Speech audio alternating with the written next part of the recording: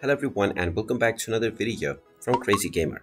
In this video, I'm going to show you how to make a new account on Riot Games. So let's get started right away. First of all, open up your web browser and then in the address bar, type in riotgames.com and press enter. You will now be taken into the official Riot Games website. Now click on the sign in button at the top right corner and this will take you into the login page.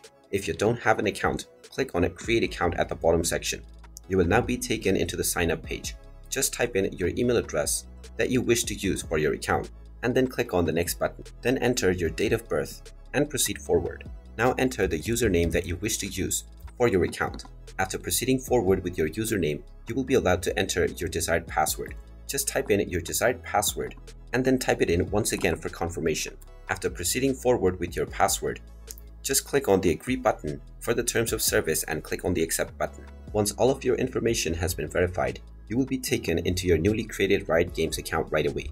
And there you have it. That is how easy it is to create a new Riot Games account. If you find this video helpful, make sure you hit that like button and subscribe to our channel if you haven't done so already. Also ring that notification bell to never miss another update from us. Thank you for watching and I will see you again in the next video.